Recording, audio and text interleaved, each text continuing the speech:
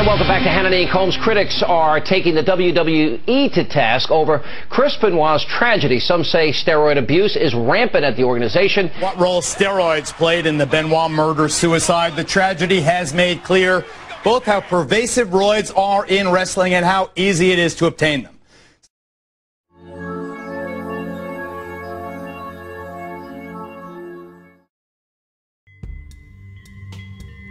The mainstream media had somewhat of a field day with the idea that Chris Benoit murdered his family in a fit of roid rage.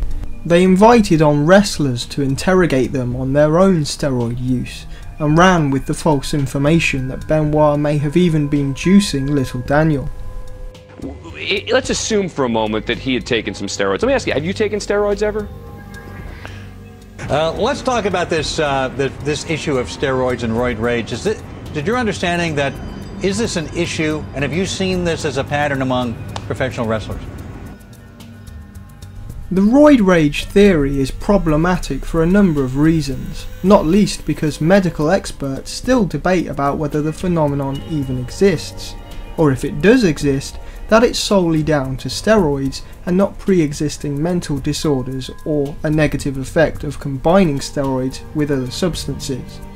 There is no reliable scientific data on the matter. When you talk about roid rage, roid rage for me is a uh, uh, a pie in the sky theory that's thought up by people that have no business discussing the frame of mind of an elite but, physical but that's not athlete. the point. It, uh, look, I, I, I, understand your desire to be number no, one. No, the point in is you're field. trying to say I overall that be... taking steroids is bad, and I don't think it is. In research published by the President's Council on Physical Fitness and Sports, it's concluded that anticipation of the aggressiveness related to steroid use may lead to actual violent acts and become, in effect, an excuse for aggression. They did not believe that there is a causal relationship between roid rage and steroids.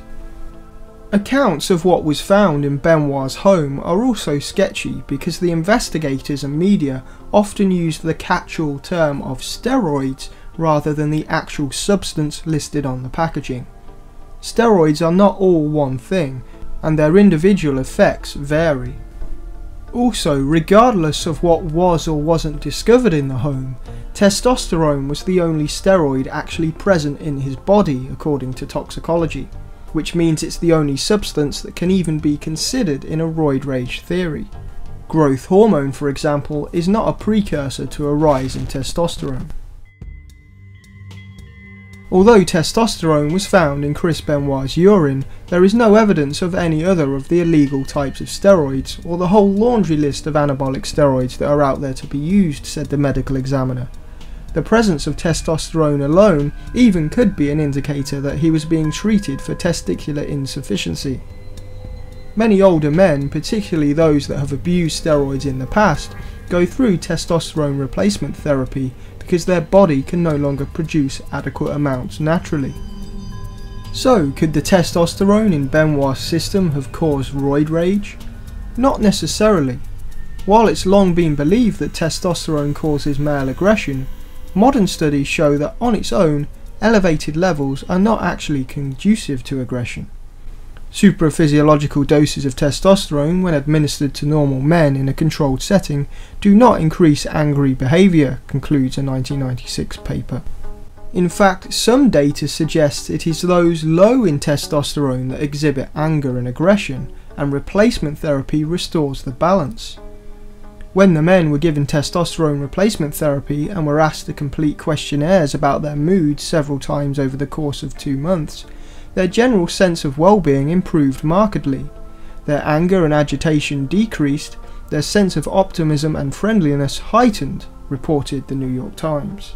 Recent studies even suggest elevated testosterone levels can result in better thought out and fairer decisions, rather than rash and risky behaviour as previously assumed. New scientific evidence refutes the preconception that testosterone causes aggressive, egocentric and risky behaviour. A study at the universities of Zurich and Royal Holloway London with more than 120 experimental subjects has shown that the sexual hormone with the poor reputation can encourage fair behaviours if this serves to ensure one's own status, reported Science Daily in 2009. The overall picture is inconclusive, and there are too many variables to categorically claim roids equal rage without taking into account other factors. The medical examiner at the time of the Benoit tragedy concluded that essentially I think it's an unanswerable question. In other words, there is no evidence that Chris Benoit had roid rage, whatever that even means. Interestingly, WWE claimed he was clean of both anabolic steroids and testosterone when tested in the April, and toxicology suggests he'd only taken testosterone recently before the tragedy. There is some evidence that actually coming off steroids may cause depression and mood problems. With the newly implemented wellness policy, it's possible Benoit was on the least amount of steroids that he's been on in years, that could just as easily have played a role than roid rage. It simply doesn't hold up to scrutiny. The crime took place over three days. Nancy was bound, Daniel was sedated, and Bibles were placed next to their bodies. This demonstrates Chris was in a deranged and depressive state, but with the ability to plan and premeditate. A note was later discovered which read, I'm preparing to leave this earth. The key word being preparing. This was clearly not a burst of rage, but a deeper psychological problem. Toxicology also found that Benoit's system contained a combination of Xanax, a powerful psychoactive anti-anxiety and depression drug, and hydrocodone, an addictive semi-synthetic opioid-derived painkiller that bears relation to heroin.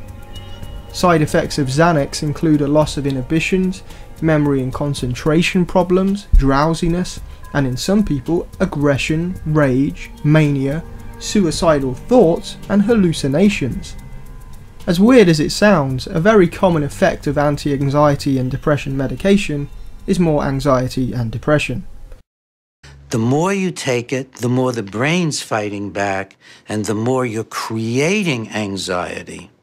So, in the studies that we used for FDA approval for Xanax, by eight weeks, the patients were worse. They were in serious withdrawal. Up to a third of them couldn't even get off the drug. After eight weeks, they couldn't get off the drug.